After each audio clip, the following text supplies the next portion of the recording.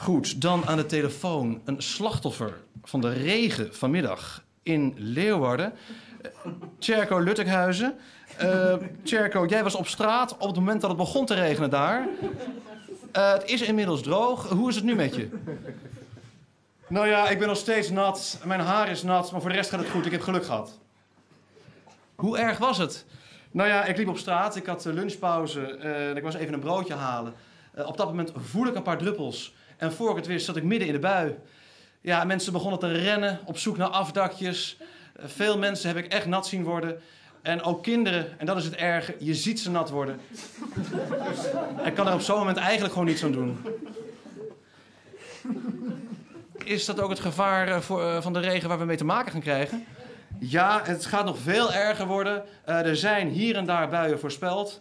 In uh, Roosendaal is een bui voorspeld. In uh, Maarsenbroek is een bui voorspeld. In Heerlen is een bui voorspeld. In Huregowaard is een bui voorspeld. In Kerkrade is een bui voorspeld. In Woudrichem is een bui voorspeld. In Soest is een bui voorspeld. Ja, oké, okay, dankjewel, Tjerko. Aan de telefoon ook Nijs van Urken. Die een kijkoperatie heeft uitgevoerd op een kok. Wat zijn de tijden? Ja, 714, 308 en 613. En dan hebben we het over de eerste periode. Gaan we naar de halve kwartieren. Dan zien we een mooie achterstand en een rijke uiterwaarde met zaad over alle gezichten. Liefde is hier niet meer in het spel. Uh, zoveel is wel duidelijk. Lopen we even verder, zien we ongeveer hetzelfde. Vrouwen die het met elkaar doen, knuffeldieren en heel veel verlangens.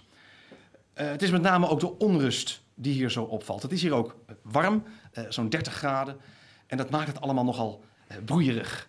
Hete zon, veel lichamen, veel zand. Kortom, het zal wel weer een strand zijn. Ja, dat zie je dus heel veel hier. Mensen die denken dat ze op een strand zijn. Een soort self-fulfilling prophecy. Voor je het weet gaan mensen zwemmen.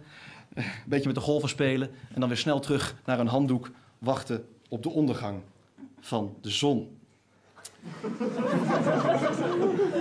Totdat mensen erachter komen: Jezus, wat zit ik nou stom te doen? Er is hier helemaal geen strand. Wat heb ik me laten meeslepen door de tekst?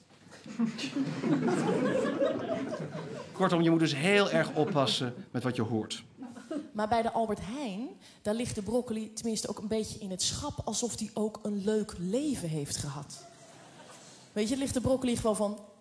Bij de natuurwinkel hangt de broccoli een beetje suicidaal in zo'n bakje. Van nee, over mij zijn geen pesticiden heen gegaan, nee.